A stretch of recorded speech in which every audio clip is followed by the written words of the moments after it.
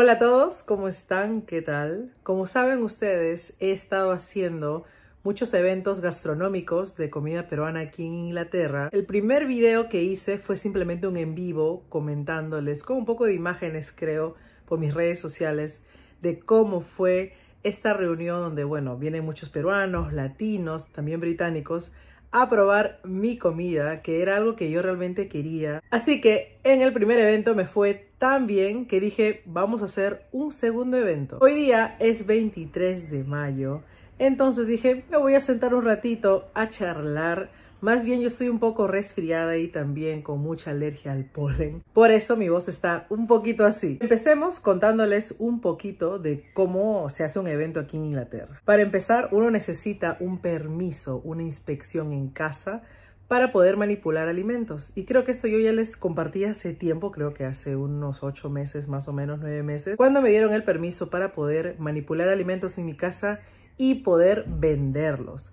Entonces, una vez teniendo esos permisos, uno puede pues ofrecerlo en festivales o también rentar un lugar como en mi caso para poder vender lo que cocino. Y les menciono esto porque cuando tú vas a rentar un local te piden que enseñes tu certificado que te ha dado el que ha inspeccionado tu casa. Entonces ese es uno de los requisitos para poder rentar un local y también vender comida desde casa o estés donde estés. O incluso trabajar en un restaurante necesitas pasar este tipo de certificados. Vender comida parece fácil, pero no lo es, sobre todo en este país. Yo recuerdo que en Perú eh, hacía la comida en mi casa, salía a la esquina de mi casa con una mesa con ollas de mazamorra morada, de arroz con leche, de calabaza y lo vendía, vendía a mis vecinos, a mis amigos. Cosa que yo inocentemente también pensaba, ah, quizá aquí también pueda, ¿no? Ofrecer a mis amigos. Pero bueno, les cuento esto porque yo he vendido comida en mi país desde ya hace mucho tiempo. Tengo 17, 16, no recuerdo chicos, pero vendía comida.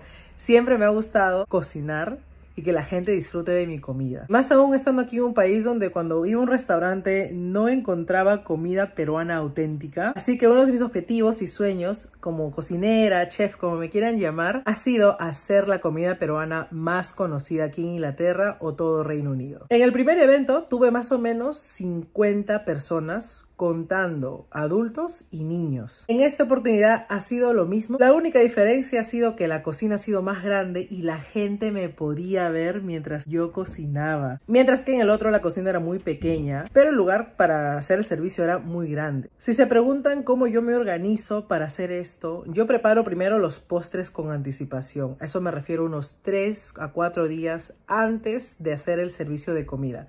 Por ejemplo, preparo una tres leches, una crema volteada, etcétera, ya con anticipación. Y otras cositas, por ejemplo, como hacer tamales o cremas, lo preparo un día antes de que venda la comida. Pero así yo me adelante a hacer, no sé, tres a cuatro días antes cualquier preparación. Hay cosas que no se pueden hacer así. Por ejemplo, el arroz o también un ají de gallina. Entonces, esta fecha, como la anterior, me he quedado, chicos, más o menos 38 horas sin dormir. Recuerden chicos que para cocinar para 50 personas es muy difícil, hay mucha organización, no solamente en la cocina, sino desde las compras del pedido de pescado que tuve que hacerlo una semana antes para que el pescador me diga, ok, tengo aquí tus 6 kilos de pescado, por ejemplo. O también conseguir los limones peruanos que yo quería. Y todo eso es una organización de un mínimo de un mes y medio. Por eso los eventos que yo hago es cada dos meses, un mes y medio, porque también tenemos que rentar el local y ver si hay espacios o disponibilidad. No solamente es la cocina, sino la persona que va a recibir a los clientes. Ese trabajo es de Alex. El trabajo de Alex es armar las mesas, colocar los cubiertos, poner los manteles, ver qué mesas han pedido, no sé, dos huancaínas, dos lomos saltados. Entonces, en esta oportunidad, no como la primera, en la primera solamente me ayudaron dos de mis amigos, bueno, mi suegro también y un poquito la tía de Alex que fue a comer, pero al final terminó ayudándonos. Pero para esta oportunidad yo he tenido eh, a mis amigos, que gracias a ellos el servicio ha sido excelente. En la cocina éramos dos y mis otras amigas, Tatiana y Andra, eran las que servían. También Alex ayudaba a servir y mi amigo Jordano, que es el esposo de mi amiga Yamila, estaba encargando también de los tragos, quizá de recibir a la gente. No vi mucho lo que él estaba haciendo, pero sí lo vi con los cócteles sirviendo a las personas. Claro que él también nos ha ayudado, ¿no? A poner la decoración. Ese es otro tema muy importante, chicos, porque eso demora tiempo. Colocar las banderitas, colocar los detallitos por ahí. Mi amiga también armó las servilletas tan bonito que dije me tiene que enseñar para yo poder hacer esto la próxima. Si es que no puede venir obviamente hasta Londres, porque el tercer evento aún va a ser aquí en Yorkshire, el mismo lugar que posiblemente he hecho esta vez.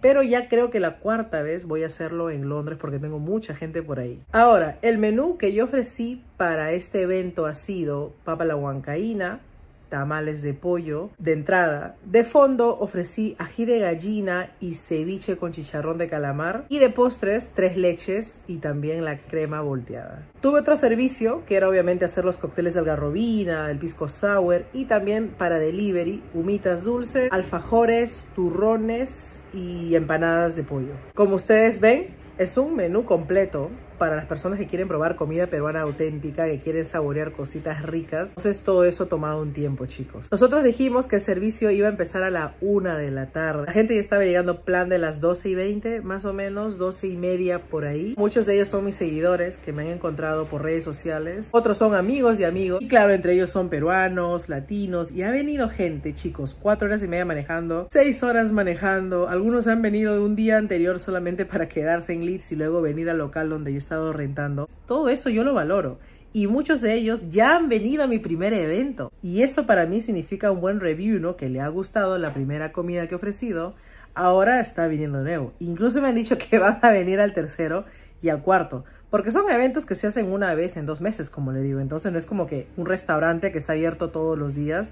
No, es más casual, es más divertido, ponemos música, un poquito más y le metemos baile. Pero eso ya será más adelante cuando, bueno, tengamos más horas. Porque obviamente cuando uno alquila un local, tienen ciertos límites de hora. Por ejemplo, yo tuve que estar ahí a las 9 de la mañana. Tenía que devolver a la cocina a las 5 de la tarde, más o menos. Entonces el servicio empezó a la 1 y hasta que la gente come y conversemos. Porque al final de yo hacer el servicio yo me acerco y converso con ellos, oye, ¿qué tal la comida? ¿Te gustó? ¿No te gustó? Muchas gracias por venir, o sea, hay un, todo un protocolo, ¿entienden? Y eso demora, cada mesa, hubieron creo como ocho mesas, si no me equivoco, y en esas ocho mesas habían personas de siete, seis, o creo que un poquito más. Yo estoy muy feliz, me encanta esto de cocinar para las personas, me fascina ver que a la gente le gusta mi producto, que me digan que es auténtico, que recuerda su casa, que recuerda a su mamá, que recuerda Perú, que sabe como Perú, porque ese es mi objetivo. En ese evento también mi suegro estaba participando, al final tuvo que ayudarnos un poquito a lavar por ahí y hacer unas compras de limones, porque yo sí tenía la expectativa que iban a tomar pisco sour, que son unos extras por ahí, pero la gente pidió bastantes pisco sours, bastantes con cóctel de algarrobina, que es mi favorito, que ya les conté que soy adicta al cóctel de algarrobina. Entonces tuve que estar preparando ahí y luego me iba a servir. Entonces, gracias a Dios que he tenido mis amigos, como les digo, porque sin ellos no hubiera podido. O sea, ni con cuatro, teníamos que ser mínimo seis, siete en el servicio y en la cocina también, ¿no? Porque mis amigas también me estaban ayudando, no solamente ayudaban a servir, sino por ahí a freír el chicharrón, por ahí a pelar la papa, ponerle un poco de crema a la, papa a la huancaína, por ejemplo, o empaquetar los deliveries que la gente había pedido. Hay algo también que pasó en el evento, hay una chica que vive más o menos a cuatro horas, tres horas y media cerca a Londres y vino con su pareja, que es un chico inglés. Y cuando yo me acerqué, me dijo, oye, muchas gracias, la comida está deliciosa, valoro mucho tu tiempo porque sé que es difícil con niños. Y cuando me iba mencionando sus sentimientos, sus emociones, no su apreciación, vamos a decirlo así, se puso a llorar. Y chicos, a mí eso me conmovió bastante y le dije, oh, muchas gracias, de verdad, porque no es la primera persona que me dice eso, no es la primera persona que me dice, muchas gracias, el sabor está excelente, valió la pena manejar tres a cuatro horas. Wow, tú cocinar todo esto sola, pues chicos, sí, es verdad, yo cocino todo eso sola. Mis amigos me ayudan, sí, a servir, me ayudan con la organización de las mesas, de la decoración, mi esposo también, pero la que cocina para 50, 60 personas sola, postes, entradas, fondos, incluso los tragos, soy yo. Y eso que la persona vea ese trabajo detrás de, que no solamente valore la comida, sino que vea, wow, sé que no has dormido porque se te nota en la cara, mis ojos estaban rojísimos. Tienes tus niños correteando por ahí, Sofía entraba a la cocina, quería teta mientras que yo estaba haciendo el servicio, haciendo el ceviche. Entonces, esa apreciación para mí lo dice todo. Entonces, a mí me motiva eso también para seguir. Así que con esto les digo que va a haber un tercer evento Aún no tengo la fecha confirmada, pero va a ser en Yorkshire, en el mismo lugar posiblemente donde he hecho la última vez. Si alguno de ustedes quiere venir, estoy avisando con anticipación, posiblemente sea por julio, por ahí. Ya van a ver mis historias de Instagram. Si no me siguen, búsqueme como Cecilia Tupac. Otra cosa también que me encanta del evento es que conozco muchos peruanos, muchos amigos latinos. A mi evento han ido colombianos, han ido argentinos, han ido españoles, obviamente británicos Anteriormente fueron creo que mexicanos, rumanos y otras nacionalidades que yo sé que si algún día me animo realmente, no un restaurante, aún no sé chicos, estoy viendo porque es matado, o sea, vamos a ser honestos, la cocina es matado y son mínimo 16 horas ahí en tu cocina haciendo el mise en place, no poniendo fechas a todos los productos que salen, que entran, hacer compras, regresar, cocinar, lavar, limpiar. Entonces es matado. Imagínense yo con dos niños pequeños. Obviamente ahora mi mamá que ha estado aquí me ha ayudado un poquito a cuidar a los niños mientras que yo cocinaba. Pero en el primer evento, no, estuve sola completamente. Alex tenía que cuidarlos, obviamente, él no, él no pica la cebolla. Pero sí, me ayuda, por ejemplo, a hacer las compras y todo eso. Entonces, es difícil, pero no imposible. Entonces, para todas las personas que quieren emprender un negocio, que tienen ideas y quieren hacerlo realidad, ya sea un restaurante, es difícil, sí, pero como les dije, posible. Y yo quiero ser ese ejemplo para la gente que está en el extranjero o está en Perú, donde sea, para que se animen a ir por sus sueños. Y sí, claro, haciendo un negocio uno gana dinero, pero la cosa es que lo disfrutes y yo amo, me apasiona, o sea, me encanta cocinar comida, ya sea peruana, ya sea de otros países, me encanta, siento un amor a lo que es el arte culinario. Lo que es más bonito es que cuando yo estaba, a ver, como les dije, estaba viendo a la gente cocinar porque podía verlos y veía esto, ¿no? Por ejemplo, un chico británico, pero no también, metía el ceviche con... Y se miraban y yo... O sea, es una buena señal, ¿entienden? Y eso como que me llena de emoción. En resumen, la experiencia fue muy, muy bonita. Y yo sé que ustedes estaban esperando un video blog, pero así, wow. Así que yo les voy a compartir algunos clips también que he grabado después de todo lo que le he enseñado mientras que he estado hablando, para que ustedes más o menos se hagan una idea de cómo son los eventos que yo preparo aquí en Reino Unido. Ya tenemos casi todo listo para... Yamina está en el área de postres y de bebidas, tragos, algarrobina. Estamos listos para el evento. Falta unas dos horitas y media más o menos. Aquí están... Hola. ¿Qué tal? Dime, Andra. Cuéntame. Si pongo ya estas ya empacadas y ya nada más agarran. Sí, sí, sí. Mejor, mejor. Y las empaco todas y ya saben que tienen raciones hechas ya. Creo que he hecho más cantidad para compartir también. Entonces no sé cuántos, pero más o menos. Bueno, chicos, miren qué bonito han decorado eh, nuestros amigos. Andra y mi amiga Tatiana han hecho las servilletas. Miren qué bonito. Le da ese toque especial. Y bueno, hemos puesto también banderitas por arriba, por abajo. Por allá está el buffet de niños que está tapado. Y bueno, por aquí hay mucha gente que ha hecho delivery de empanadas, también de alfajores. Aquí están. Turrones también, humitas y tamales, que los tamales se están calentando. Yo ahorita estoy cortando un poco de camotes para hacer el ceviche la va para la huancaína. Mi amigo también nos ha ayudado por allá a armar, a mover las mesas con mi suegro. Y mi mamá también está por ahí con Sofía. Charla con el jefe. You two, serving. Okay, when people come in, Teamwork. give the drinks. So we have, you already también estoy preparando el delivery para unas personas. Mente han venido pues para recogerlo porque tienen cositas que hacer. Pero igual gracias por el apoyo. Ahora sí, esto lo cierro y a servir. Ahora salen ceviches para llevar con chicharrón. Buenazo. Estamos listos para el servicio, chicos. Ahora sí, ya está llegando la gente, miren por ahí, por atrás.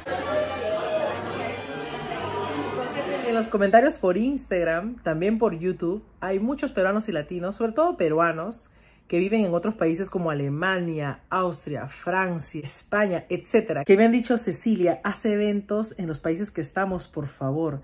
Entonces, esa es mi próxima meta, chicos, ir a España y cocinarles a ustedes, ir a Francia y cocinarles a ustedes, hacer un pequeño evento, pero obviamente se empieza por algo pequeño, ¿dónde estás? Y ya luego se va a expandir poco a poco. Y bueno, espero que les haya gustado este videito hablando, enseñándoles unos poquitos de fotos. Espero que también vayan a mi Facebook si quieren ver más imágenes porque voy a compartirlos por ahí. También por Instagram para que vean lo que he cocinado y cómo la gente también se ha divertido con este evento. Obviamente esto de aquí no hubiera sido posible por las redes sociales, por eso yo estoy muy agradecida con, el público que tengo, también porque sé que mucha gente latina tiene familia en UK y en otras partes del extranjero le dice, oye mira, esta peruana nos enseña a cocinar lo que extrañamos y no está usando ají panca o no está usando ají amarillo y le sale buenazo, mira, mira su video, chequéalo, ella te enseña cómo hacer humitas usando, no sé, sweet corn en vez de choclo peruano. Cosas así. Entonces yo aprecio mucho a esas personas que comparten mis videos de cocina, mis vlogs que siempre están comentando. Para serles honestos, sin YouTube, sin redes sociales, yo creo que no hubiera estado donde estoy. Y bueno, sí hay pros y contras de tener redes sociales, como ya saben, críticas, etcétera. Pero las críticas para mí son motivación de seguir adelante. Siempre le he dicho, actos y no palabras. Ahora para mí haber cumplido ese sueño de vender comida, haciendo ya casi mi tercer evento, quién sabe dónde voy a llegar, no lo sé, pero quiero compartirlo con ustedes. Y nuevamente también muchas gracias por la estima, el cariño que le están teniendo a mi mamá, mi mamá es súper chistosa. Si no han visto los videos, vuelvan a verlos o compártanlos para llegar a más personas y así esta comunidad crezca más. Cuídense mucho, síganme en Instagram, estoy como Cecilia Tupac o Ceci UK. Ya nos veremos en otro vlogcito. Cuídense, chao.